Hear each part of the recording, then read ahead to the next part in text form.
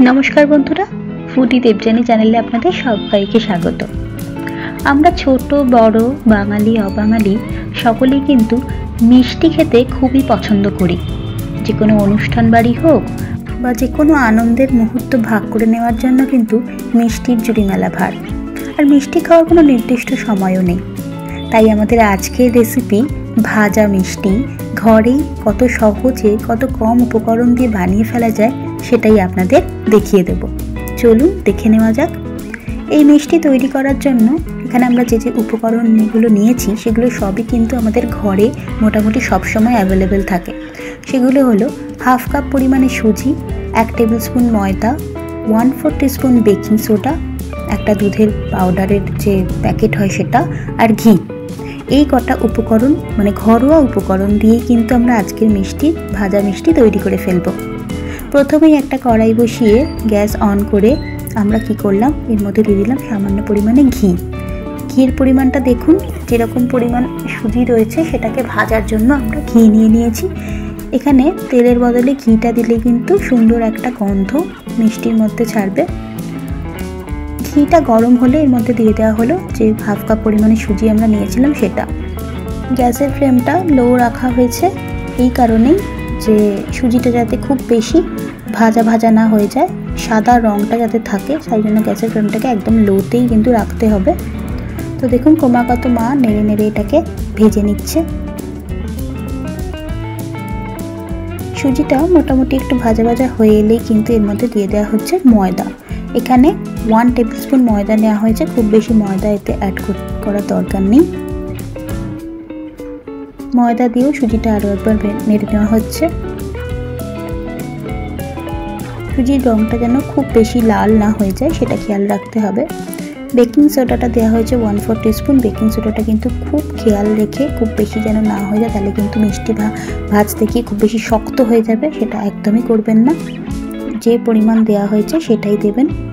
আর এখানে দিয়ে দেওয়া হলো হাফ কাপ দুধ আর হাফ কাপ জল। এখানে হাফ কাপ সুজি হলে তার ডাবল জল দিতে হবে বা তার ডাবল দুধ হবে। তাই আমরা কি করলাম? হাফ কাপ জল দিলাম আর হাফ কাপ দুধ দিলাম, তাতে হয়ে গেল এক কাপ পরিমাণে লিকুইড এটা সবসময় রেশিওটা কিন্তু মাথায় রাখবেন, নইলে কিন্তু মিষ্টিটা তৈরি করা যাবে না বা পাকও ধরবে না ঠিকভাবে। তো জল আর দুধ মিশিয়ে দেবার পরে আরও কিছুক্ষণ গ্যাসের মধ্যে এইভাবে নেড়ে নেড়ে একটা পাক বা মন্ড যখন তৈরি হয়ে গেল, তখন কিন্তু গ্যাসের ফ্লেমটাকে অফ করে আমরা এটাকে একটা থালার মধ্যে তুলে নেব। এখন অনেকটা গরম আছে, একটু ঠান্ডা হতে দিলাম। এই সময় কড়াইয়ের মধ্যে দিয়ে দেওয়া হলো রস। আমাদের অনেক সময় ঘরে মিষ্টি তো আসেই, তো সেই রস কিন্তু জমে যায়। আমরা সেই রসটাকে স্টোর করে রেখেছিলাম, তো সেই রসটাকেই কিন্তু আমরা আজকে আমাদের ঘরে তৈরি মিষ্টির জন্য কাজে লাগিয়ে দিচ্ছি। আপনারা কিন্তু চিনি দিয়ে রস বা শিরা বানিয়ে নিতে পারেন। সেক্ষেত্রে এক কাপ চিনি আর তার পরিমাণ মতো জল দিয়ে শিরাটা বানিয়ে নিতে হবে। এখানে দেখুন, সেই মিষ্টি রসের মধ্যে দিয়ে দিলাম একটুখানি গুঁড়ো এলাচ আর সামান্য পরিমাণ কেশর। তাতে কিন্তু সুন্দর একটা ফ্লেভার এখানে অ্যাড করবে। আর খানিকটা দিয়ে দেওয়া হবে লেবুর রস। তাতে রসটা কিন্তু আরও বেশি স্বচ্ছ ক্রিস্টাল ক্লিয়ার আরও হয়ে যাবে। খুব সুন্দর একটা স্বাদও হবে। তো রসটা এখানে ফুটছে লো ফ্লেমে রাখা রয়েছে।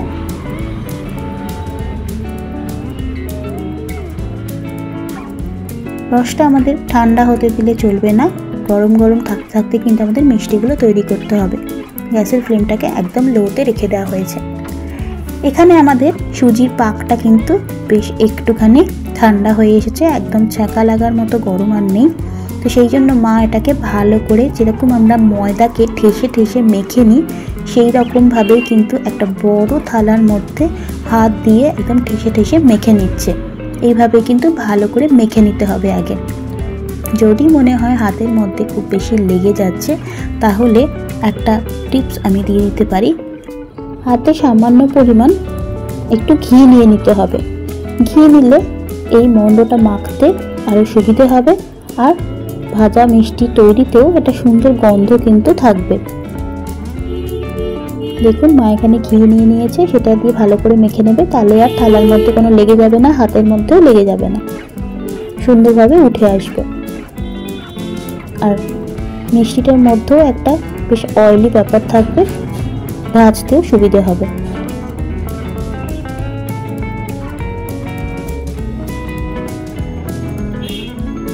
সুন্দর একটা ফর্মে চলে এসেছে। দেখুন, ময়দা মাখার পরে যেরকম হয়ে যায়, ওরকমই হয়ে গেছে।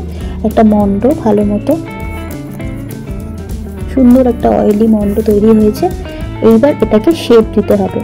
হাতে তালুর সাহায্যে মা প্রেস করে করে বা মুঠির সাহায্যে কিন্তু দেখুন, ছড়িয়ে ছড়িয়ে আমাদেরকে একটা স্কোয়ার শেপ দিতে হবে।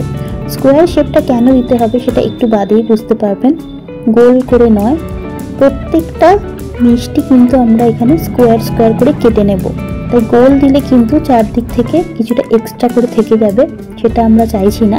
আমরা তাই জন্য প্রথমে একটা স্কোয়ার শেপ দিয়ে দিলাম। এরপর ছুরি দিয়ে মা দেখুন সুন্দর সুন্দর করে একটা করে স্কোয়ার কেটে নেবে মিষ্টি। অবশ্য আপনারা কিন্তু যে যার নিজের পছন্দের মতোই কিন্তু শেপ দিতে পারেন। আমি এখানে স্কোয়ার শেপ দিয়ে দেখিয়ে দিলাম। তারপরে ছুরির সাহায্যে প্রত্যেকটা বার করে নেওয়া হলো। হাতের মধ্যে আবার খানিকটা ঘি দিয়ে নিলে এইভাবে প্রত্যেকটা সাইডগুলো, কর্নারগুলো কিন্তু একটুখানি সমান করে দিতে হবে। নইলে কিন্তু ভাজতে গিয়ে ওই টুকরোগুলো বেরিয়ে থাকলে সেগুলো কিন্তু ফেটে যেতে পারে। তাই জন্য প্রত্যেকটাকে ইভেন করে নেওয়া হলো। এবার কড়াই বসিয়ে দিয়ে তাতে দিয়ে দেওয়া হবে সাদা তেল। এবার কিন্তু সাদা তেল বেশ পরিমাণ মতো একটু দিতে হবে, কারণ মিষ্টিগুলোকে ভেজে নিতে হবে। নামেই ভাজা মিষ্টি। তো সেক্ষেত্রে মিষ্টিগুলোকে কিন্তু ভেজে নিতে হবে। এইভাবে কড়াইতে মোটামুটি চার থেকে পাঁচটা যতখানি ধরবে, সেই মতো দিতে হবে। খুব বেশি দিলে কিন্তু আবার ভাজতে অসুবিধা হবে, ভেঙে যেতে পারে। সেই জন্য মোটামুটি চার পাঁচটা দিয়ে কিন্তু তেলের মধ্যে ভেজে নেওয়া হবে। গ্যাসের ফ্লেমটাকে কিন্তু হাইতে রাখতে হবে। লোতে রাখলে ভালো করে ভাজা যাবে না। যেহেতু সুজি আছে, তাই জন্য গ্যাসের ফ্লেমটাকে কিন্তু হাইতে রেখেই আমরা লাল লাল করে মিষ্টিগুলোকে ভেজে নেব।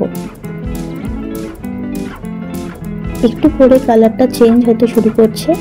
দেখতেই পাচ্ছেন গোল্ডেন একটা ব্রাউন হয়েছে। মোটামুটি এক পিট লাল হলেই মা উল্টো পিট দিয়ে দিচ্ছে। সুন্দর একটা গোল্ডেন ব্রাউন কালার এখন আপাতত রয়েছে।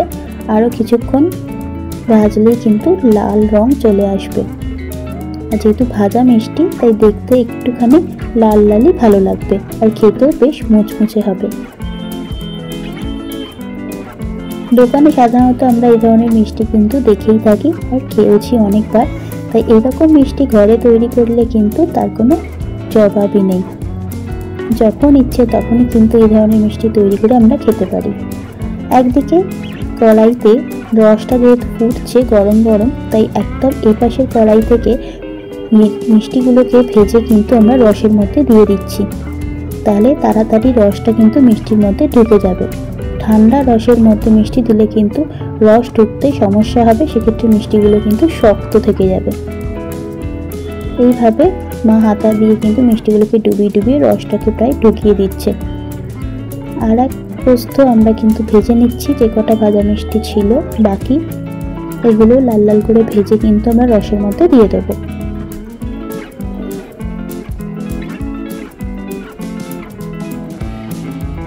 আমরা অনেকেই কিন্তু ভাজা মিষ্টি ভীষণই পছন্দ করি। আর এই ধরনের রসালো মিষ্টিগুলো কিন্তু বেশ দু তিন দিন ধরে খেতে খুবই সুবিধে হবে যদি আমরা ঘরে এভাবে বানিয়ে নিই। আমাদের আজকের রেসিপি ভাজা মিষ্টি কিন্তু একদম তৈরি। ঘরে আত্মীয় স্বজন বন্ধু বান্ধব যেই আসুক না কেন, মিষ্টি কিনতে আর দোকানে দৌড়তে হবে না। ঘরেই খুব সহজে খুব ঘরোয়া উপকরণ, কম উপকরণ দিয়ে এমন সুন্দর ভাজা মিষ্টি আমরা তৈরি করে ফেললাম। আজকের রেসিপি ভালো লাগলে অবশ্যই লাইক কমেন্ট শেয়ার চাই। আর নতুন বন্ধু আমার চ্যানেলে এসে থাকলে তারা অবশ্যই আমাদের চ্যানেলটা সাবস্ক্রাইব করে নেবেন। বেল আইকনটি প্রেস করে আমার পাশে থাকার আবেদন রইল। তাহলে নতুন নতুন রান্নার রেসিপি কিন্তু রোজ রোজ আপনারা আপডেট পেয়ে যাবেন। চলি বন্ধুরা আজকের মতো মিষ্টি মুক্ত আমরা করে নিলাম। তোমরাও তাড়াতাড়ি ঘরে এইসব বানিয়ে বাড়ির মানুষদের খাইয়ে দাও। ভালো থাকবে, সুস্থ থাকবে, ধন্যবাদ।